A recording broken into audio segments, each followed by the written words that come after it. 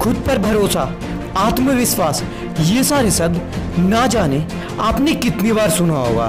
पर आज मैं आपके साथ कुछ ऐसी बातों को शेयर करने जा रहा हूँ जो आपको खुद पर भरोसा करना सिखा देगी।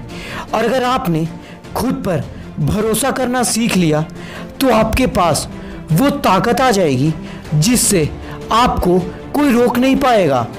आप खुद ही सोचो ना, जब किसी की उम्र पैंसठ साल हो जाती है तो वो इंसान अपने बारे में क्या सोचता होगा?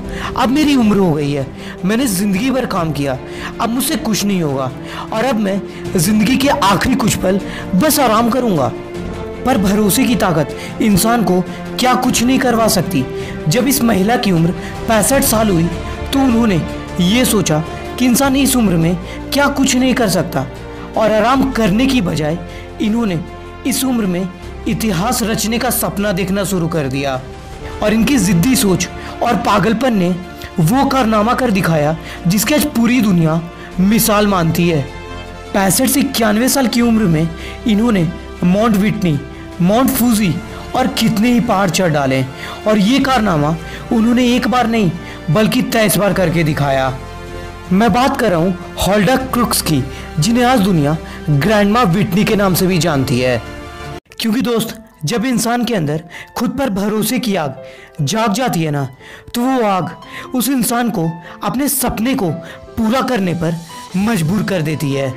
इसलिए दुनिया की सबसे बड़ी ताकत है खुद पर भरोसा करना, क्योंकि ये दुनिया का असूल है। वो तुम पर हंसेगी, तुम्हें गिराने की कोशिश भी करेगी, यहाँ तक कि तुम्हें रोकने की भी कोशिश करेगी। पर तुम्हारा आत्मविश्वास ही इन सभी तकलीफ़ों से लड़कर तुम्हें जीतने में मदद करेगा।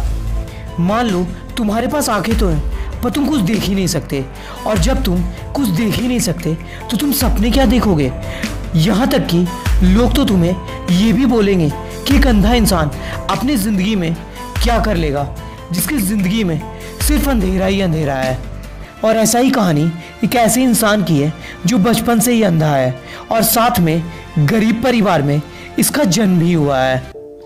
लेकिन इसमें पढ़ने की ऐसी भूख थी कि ये कई किलोमीटर पैदल चलकर स्कूल पढ़ने जाता, पर अंधे होने की वजह से इसे कोई बात तक नहीं करता, जिसकी वजह से इसे ये लगने लग गया कि दुनिया का सबसे बदकिस्मत बच्चा मैं ही हूँ और मैं अपनी ज़िंदगी में कुछ नहीं कर सकता।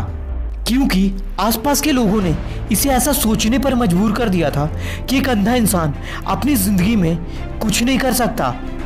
और इसका भरोसा खुद पर से उठने ही लगा था कि एक दिन इसने ये सोचा कि अपनी बाकी की ज़िंदगी ऐसे ही नहीं काटेगा।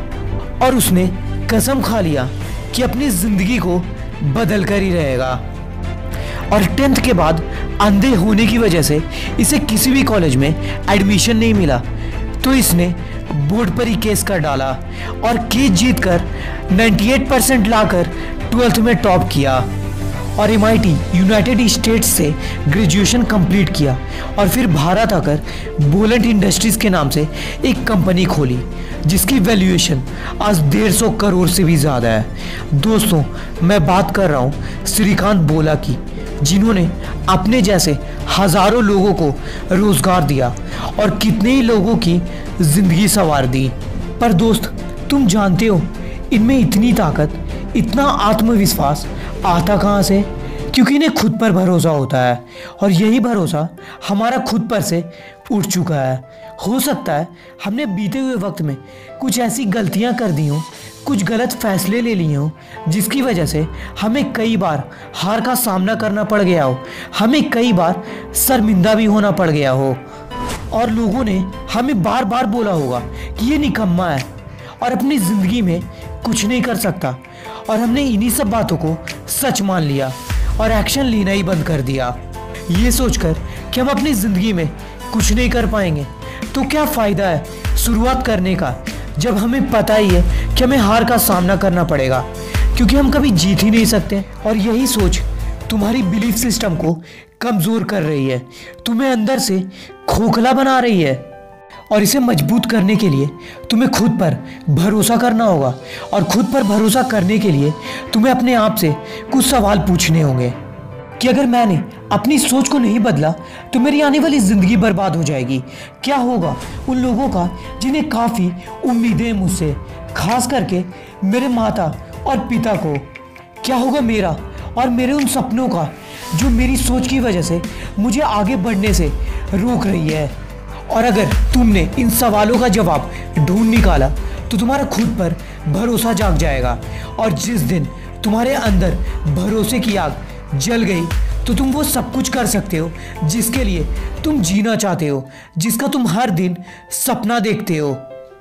क्योंकि तुम वो इंसान हो जो कुछ भी कर सकता है।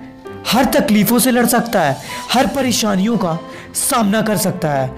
बस करना तुम्हें यह है कि तुम्हें डरे हुए सोच को आज ही ख़त्म कर देना है और नई सोच के साथ ऊंचाइयों को छूना है। क्योंकि दोस्त, तुम कर सकते हो। हाँ तुमने सही सुना। तुम कर सकते हो।